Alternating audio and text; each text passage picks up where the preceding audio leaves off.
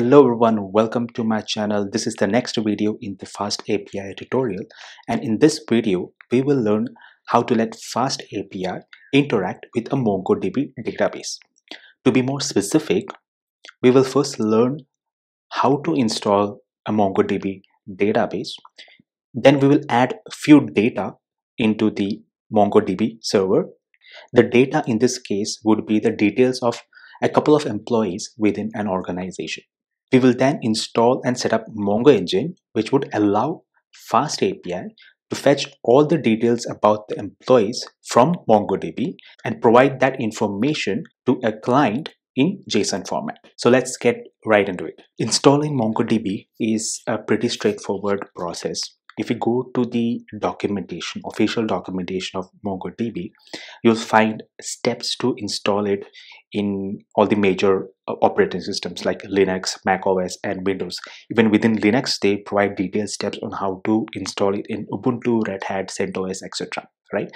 I am using mac os now. So if you go to install on mac os you can see that the steps are pretty uh, simple. You just need to use brew uh, and install mongodb community version right?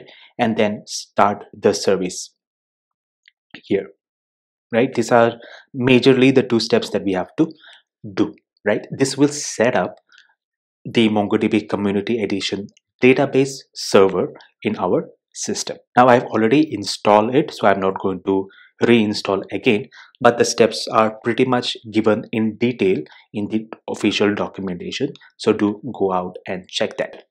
I will provide the link to it in my description. So once we have that up and running we need a gui or a graphical user interface to communicate or interact with that particular mongodb database server that we have installed in our system you must have heard about similar things like PHP myadmin for MySQL or pgadmin for PostgreSQL, right? So similarly, um, MongoDB also provides such a utility to interact with MongoDB database and that's called MongoDB Compass, right? So this is a graphical user interface which we can install in our system and interact with MongoDB. So let's see, let's try it now and you can see we can download it as any other application. So in case of mac os it's going to be dmg in case of windows it's going to be an exe package right?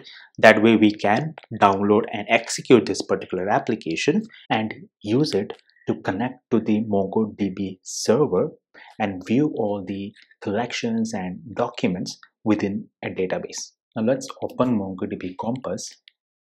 It's initializing we can just click on connect and it will connect to the database in our local host with a port of 27017 now you can see that there are a few default databases that are here.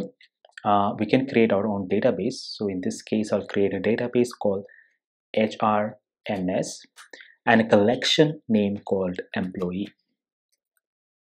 Okay? And within this employee collection we will add more documents so I'll create the database. You can see I have the database here. I have the employee collection and within this employee collection, I can now add documents, right? So just add a couple of information. You can see there is already a field called ID. This is similar to the primary keys in SQL databases. So I'll let that be there because we can use it later to reference a particular document. I'll add a few more fields. One would be say name. Let's say Jerin Jose then there is age. I'll say 28 then we have teams so this will be a list of all the teams uh, an employee is part of. So I'll just say management, technology,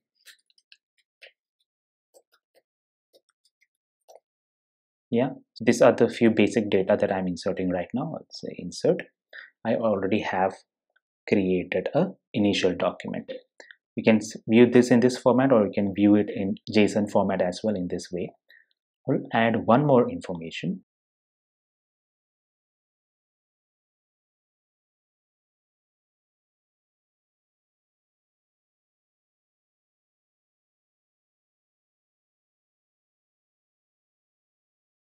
Okay i'll insert it. Now i have two documents within the employee collection within the hrms database. Okay? So that's the structure. You have a database. Within a particular database you have a collection. Within a collection there will be multiple documents right?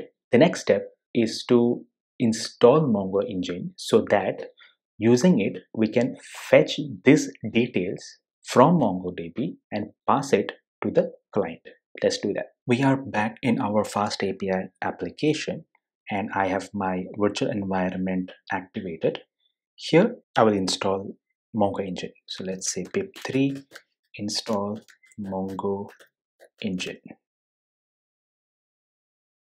I now have Mongo engine here. The first step is to actually map the structure or the schema of this employee document to a class in fast api right so to do that i'll create a new file called models.py okay? And within this i'll create a new class called employee. And this should match to the name of the document here. Uh, the capitalization doesn't matter but it should be the same would so it should be employee. Here also it should be employee. So that it maps to the correct collection. Now this will inherit from a document.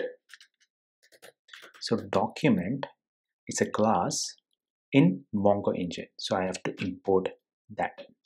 So i'll say from mongo engine which we have just installed import document.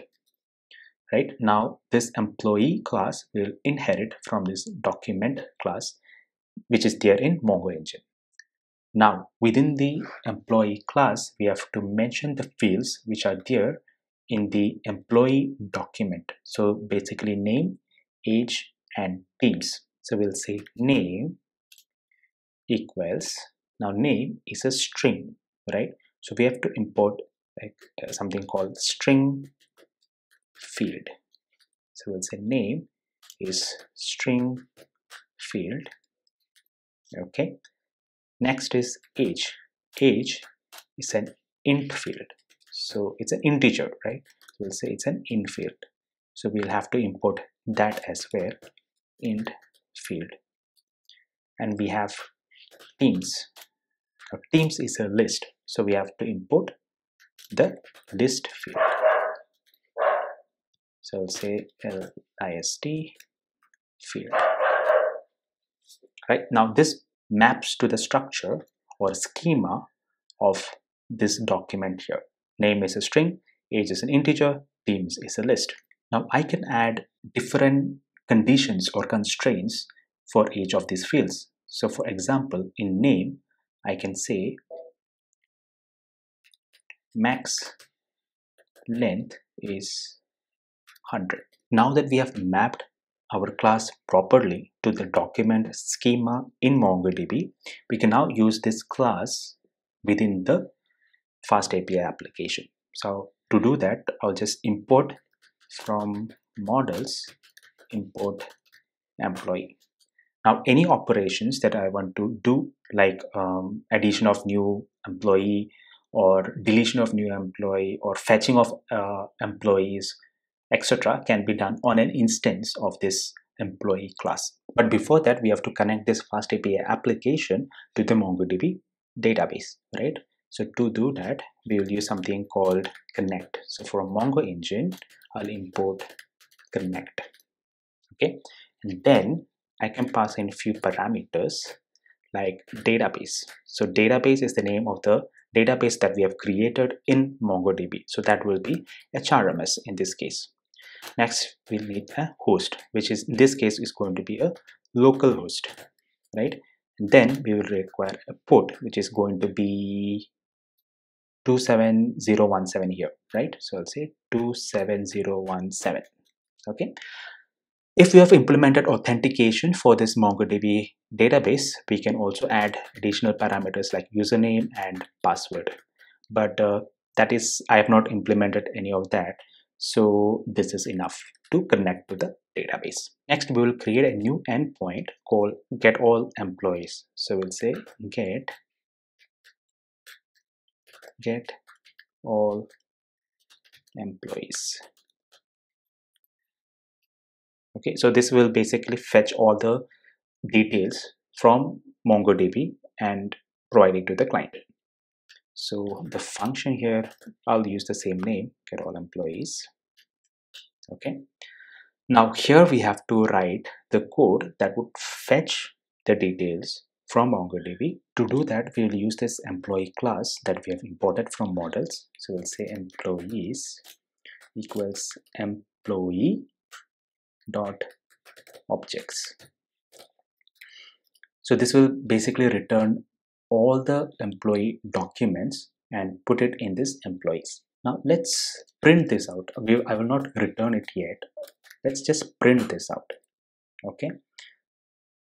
And then run this application. Let's go to the documentation. It says 127 docs. So i have a new endpoint here called get all employees right? I'll try it out execute.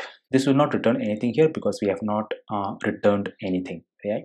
But let's go back to the application and see. So here you can see it's an employee object right? We don't see any other details. It's just an employee object okay?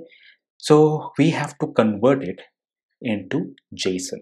Okay, to do that, we have this utility called to JSON. This is provided by Mongo Engine. Okay, now let's print this out. Let's go back and execute it again. Again, nothing will be returned, but here you can see that it's a list of uh, all the uh, employees here right now let's then directly return this. So we'll say return employees. This will be employees. Okay i'll remove this. Now we'll have something that is being returned to the client which will be a list here. Okay that we saw here. Okay now let's execute it again we have a response. But if you see this doesn't look like a list but like a string right? So you can see it's trying to escape all of this double quotes right? Looks like a string. Let's confirm by printing out the type of this variable. Let's go back and execute. Yep it's a string.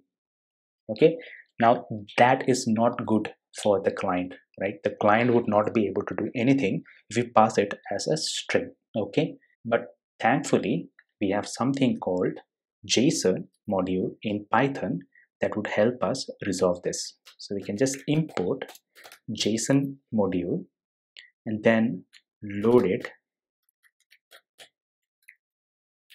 this way. Okay. So let's let's say this is going to be employees list and this list is going to be actually in as a python list okay let's sprint the type of employees list okay so let's go back and execute it again now it is coming up as a list which is usable for the client. So I will pass employees list instead of employees okay? And remove this here. Now I can execute.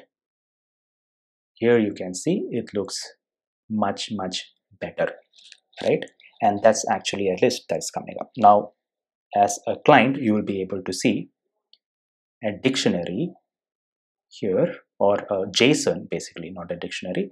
Is as a JSON with employees as the key and a list of all the employees okay? Now the client would be able to use this information in their application. Now instead of you know writing two separate line of code we can basically also write it in just one by using json.loads and putting everything in a bracket right? And then I can remove this and just return employees right? Let's go back execute same thing right? So there we go. We have fetched the information about the employees from MongoDB and returned it to the client as JSON. So that's basically the way in which you can set up MongoDB and Mongo Engine to let Fast API connect with MongoDB and provide the data that is stored in the MongoDB database to the client. So that's it for this video. But in the next video, we will learn how to get specific information from MongoDB. So now we here in this case, we basically fetched all the details that is there in the database, right? Now we will learn how to fetch certain information based on certain criteria from the database.